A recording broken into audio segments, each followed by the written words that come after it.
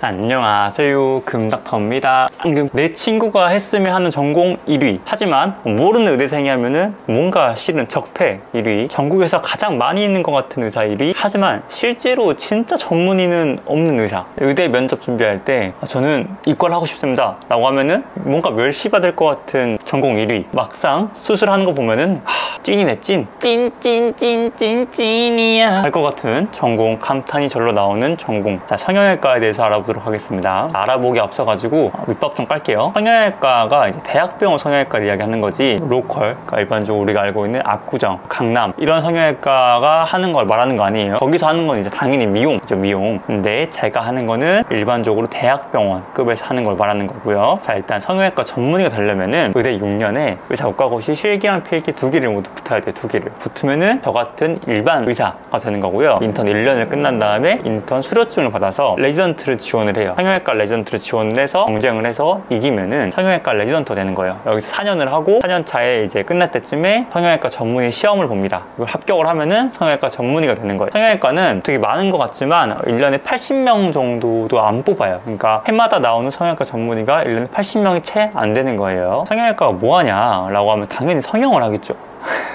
부모님이 나를 낳아주셨다면은 재창조하시는 분들은 성형외과다 이런 거는 뭐라고? 어디라고? 강남. 이런 데고 대학병원은 좀 달라요. 성형외과 발전부터 이야기하면 성형외과 발전은 전쟁통에서 시작이 됩니다.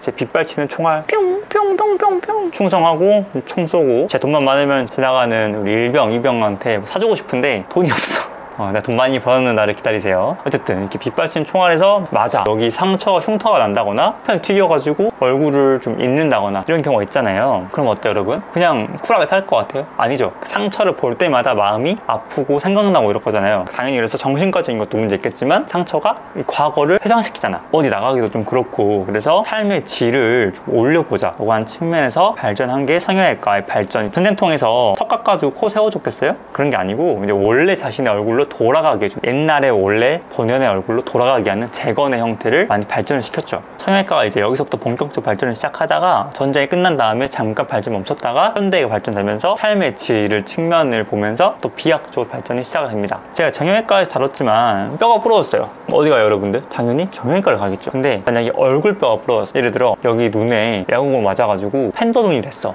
아니면은 누구한테 싸우다가 어, 금닥터 깝쳤다가 통 때려. 금닥터가 맞았어. 여기가 이렇게 흉터가 치직 나고 뼈가 부러졌어. 그러면은 얼굴뼈는 누구한테 가냐? 라고 하면 당연히 성형외과 갑니다. 그러니까 얼굴뼈가 부러지면 성형외과 가는 거예요. 제 본과 4학년 때 성형외과 실습 들어갔는데 얼굴 골절 수술을 들어갔어요. 근데 다른 수술들은 잘하지만 외과 암수술 이런 건 배를 째서 들어가는 게 있잖아요. 복강경도 있겠지만 성형외과 같은 경우에도 다리 이제 무릎을 관절 경도 있지만 무릎을 좀 열어서 한 수술이 있고. 근데 이제 성형외과는 이제 이쪽 뼈가 부러졌나? 하여튼 그랬는데 어, 여기 입 안쪽으로 들어가서 수술하시더라고 보면서 어, 조금 놀랐습니다. 음, 확실히 확실히 그 성형외과 얼굴이라 그런가 흉터를 또 안 남기려고 하는 것도 있고 그것도 약간 느낀 게 레고를 잘해야 될 것 같더라고요. 뼈가 얼굴 뼈가 부러졌던 게 파편이 크지 않았어요. 그래서 이것보다 좀 더 작았어 이만했나? 그랬는데 이거를 교수님이 돌려보면서 혼자 보시더만 이렇게 넣어야겠다 해가지고 여기 입으로 해가지고 막 넣으시더라고요. 그래서 제가 상상했던 성형외과 코 세워주고 턱 깎아주고 이런 거랑 다르게 골절 수술을 보니까 좀 달랐습니다. 그리고 두 번째로 수부 이제 재건이 있어요. 이게 뭐냐면은 손을 잘릴 경우에 경우에도 정형외과, 성형외과 담당을 하는데 이게 아주 기가 막힙니다. 나눠서 해요. 성형, 정형 나눠서 하는데 수부 담당 완전 speciality를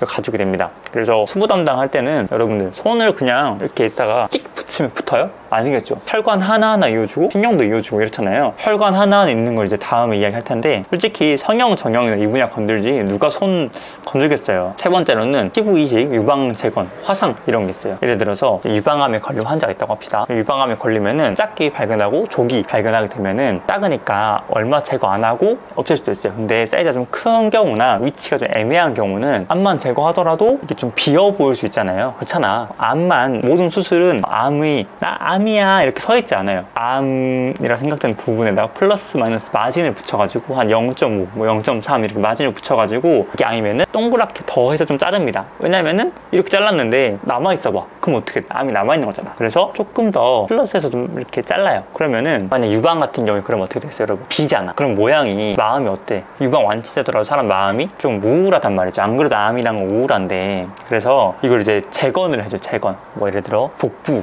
지방을 꺼내가지고 여기를 넣어준다거나 이렇게 해줍니다. 이게 성형외과가 하는 거예요. 이게 이제 여기서 네 번째 미세혈관 수술이랑 엮여가졌는데 이 미세혈관 수술은 봐봐 지방을 배에 있는 지방을 빼서 넣었어 넣었어 그럼 이게 야, 야 동맥 여기 여기 모여라 야 정맥 여기 여기 모여라 야 동맥 야 끼지 마 야 정맥 너 동맥 모이면 끼지 마 쫄로 안 가? 이렇게 하겠어요? 안 그런단 말이에요 당연히 동맥은 동맥끼리 연결시켜줘야 되고 정맥은 정맥끼리 연결시켜줘야 돼요 근데 이게 혈관이 엄청 커요? 여러분 이렇게 커? 커? 아니죠 머리카락만큼 얇단 말이야. 이거를 다 이어주는 게 당연히 미세 혈관 수술이겠죠. 그리고 동맥은 나 동맥이야. 나 동맥이니까 빨간색이야. 빠빠빠빠빠 빨간 맛 궁금해 동맥. 안, 아니란 말이에요. 파란색이라고 해서 정맥이 아니에요. 다 색깔이 어, 비슷해 보여 그래서 이거를 성형외과 선생님들이 혈관을 잘 이어가지고 대건을 해줍니다. 혈관을 이어줘야 넣은 지방이 음, 밥 먹고 살 거 아니에요? 미세 혈관 수술이라고 하는데 이거는 이제 성형외과 선생님들이 이런 이런 현미경 같은 거를 딱 쓰고 머리에 딱 쓰고 수술을 해요. 우린 보이지도 않아 학생들은. 혈관이 얇으니까 수술하기도 어렵고 환자 혈관 사람마다 혈관이 다르니까. 이제 본과 3학년 때 수술 참관을 하는데 본과 3학년 때는 이제 저희는 일반외과를 했는데 유방암 수술을 들어갔어요 많이. 유방암 수술 플러스 M 재건 reconstruction 들어있으면 우리는 도망갔어. 다른 수술로 도망갔어. 왜냐면은 언제 끝날지를 몰라. 만약에 이제 성형외과 교수님 물론 굉장히 빨리 해주시지만 그 이제 환자마다 다르니까. 우리는 보이지도 않고 아니 뭐 봐야 재밌는데 수술이 보이지도 않아. 현미경 하셔가지고. 어, 우리 봐서 뭐해? 그래서 도망갔던 기억이 있습니다 어? 대학병원 성형외과는 수부, 손 잘린 거 붙여준 사람, 혈관 이어준 미세혈관 수술, 재건, 통사고 나서 얼굴이 좀 분원지더라도 얼굴을 다 원상복귀 시켜주는 재건, 그 다음에 전쟁에서도 마찬가지고요. 화상, 어, 골절, 뭐 이런 이런 수술을 해주는 게 성형외과라고 생각하시면 됩니다. 그래서 보면 어때요, 여러분들? 굉장히 좀 다양하죠. 대학병원급에서는 아주 다른 여러분들 생각했던 거랑 조금 어? 많이 다르네? 어쩐지 대학병원 성형외과와 난 뭐 하나 했다 라는 분들에게 해소를 잘 시켜줬다 생각합니다. 자, 오늘 여기까지 여러분 손 잘 씻으시고 술 먹지 마시고 담배 피지 마시고 비타민 D 드세요. 오늘 여기까지 감사합니다. 안녕.